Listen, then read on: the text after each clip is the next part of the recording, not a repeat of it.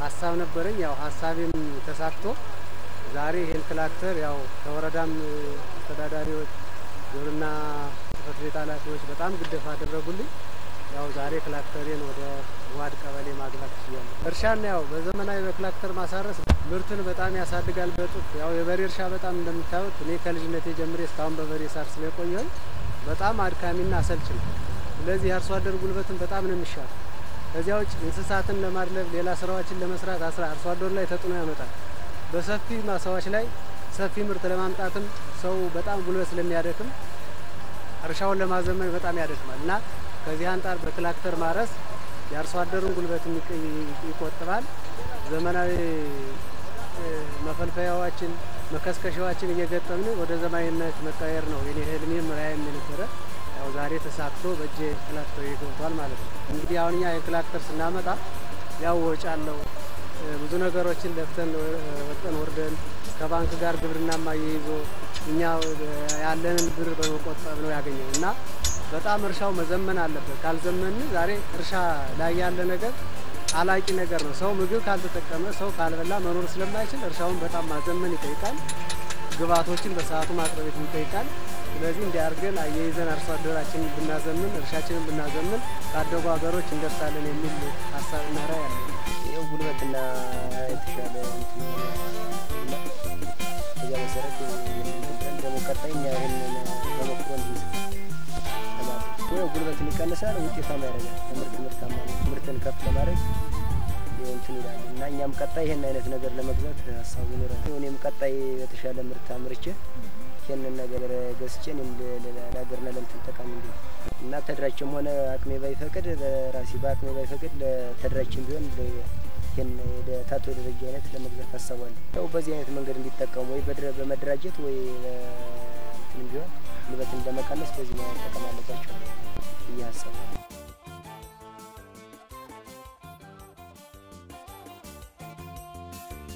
ገበየው ይባላሉ። የደንበጫ ወረዳ የእኛ ማህበረሰብ ግብርናን ወይም እርሻን እንደሌላው ማህበረሰብ እያስተማረ እስካሁን የሚገኘው ከሶስት ሺህ ዓመት በላይ የሆነ ግብርና ያለ ይህም ሆኖ ግን ቴክኖሎጂ ተጠቃሚ በማድረግ ደረጃ መስሪያ ችግሮች አሉ። እውነት ለመናገር እነዚህ መካናይዝም የሚባሉት የግብርና ከማዘመናን አንጻር መሰረት ይሆናሉ የሚባሉት ትራክተር የምንበላቸው ኮምባይነሮች የምንበላቸው እያመጣን የምንጠቀማቸው እኛ ማረስን ላስተማርናቸው ማህበረሰቦች አካባቢ ነው የምናመጣው። ስለዚህ ይህንን መሰረት ለመጣል እንደ ግብርና ጽሕፈት ቤት የምንችለውን ያክል እያደረግን ነው። ተሳክቶልን በዚህ ዓመት ትራክተሮች መግባት ጀምረዋል። እነዚህ ትራክተሮች ማረስ አርሶ አደሩ የዘመናዊ ቴክኖሎጂ ተጠቃሚ መሆን የጀመረው ከሁለት ሶስት ዓመት በፊት ነው። ነገር ግን የቴክኖሎጂ ባለቤት አይደለም። ከኦሮሚያ ክልል ከዩኒየኖች ከባለሀብቶች እየተዋሰ እያመጣ ነው ያርስ ነበር። አሁን ላይ የምታዩት ትራክተር ግን በሞዴል አርሶ አደሮች የተገዛ ነገም ተነገ ወዲያ ደግሞ የሚገቡ ትራክተሮች አሉ። ስለዚህ እነዚህ ትራክተሮችን መጠቀም የአርሶ አደሩ ምርትና ምርታማነት ለመጨመርም ጊዜውን ለመቆጠብ ግብርናን ማዘመን በተግባር ማሳየት ነው እናምናለን። ጅምሩ መሰረት የሚጥል ነው ብለን እናምናለን። ከዚህ በላይ መተባበር ይጠይቃል የሚታሰብ ነው። ግብርናን አካባቢያችንን እንቀይር፣ ግብርናን እናዘምን፣ አማራን እናሳድግ፣ ህዝቡን እንለውጥ ከተባለ basically መስራት ያለብን እንደ ግብርና ግብርናን ማዘመን ላይ ነው። ይሄ ደግሞ በግለሰቦች ብቻ ነው፣ በተቋሙ ብቻ ነው፣ በመተባበር እና አንዳንዴ ሰዎቹ የግብርናን ማዘመን ስናነሳ ለጊዜው ያሉ ኃላፊዎች ኢሹ አድርገው ያነሱ ይሄ እኛን ማህበረሰብ ይቀይራል።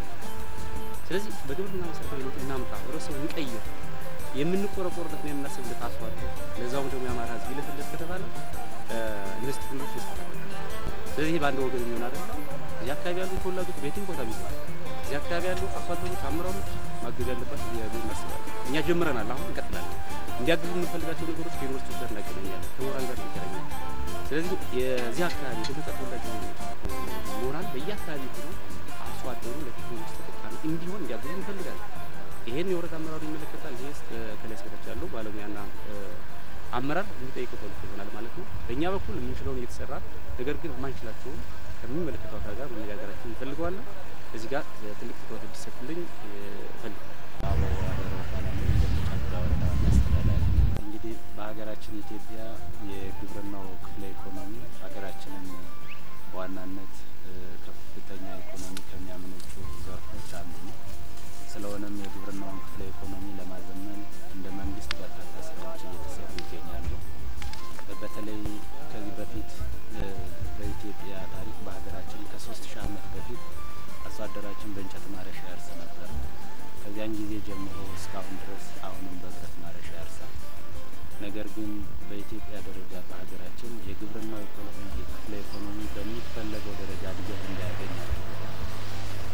መሰረታዊ ችግሩ ደግሞ በሀገራችን የቴክኖሎጂ አጠቃቀማችን እጅግ በጣም ዝቅተኛ ስለነበረና ግብርናን የማዘመን ስራችን በቅርብ ጊዜ የተጀመረ በመሆኑ አርሶ አደራችን በብረት ማረሻ ከማረስ እንዲወጣ ባለማድረጋችን እስካሁን ድረስ የግብርናውን ማዘመን አልቻልንም። አሁን አርሶ አደሮቻችንን በማነሳሳት በማግባባት አርሶ አደሮች ሰላሳ በሰባ percent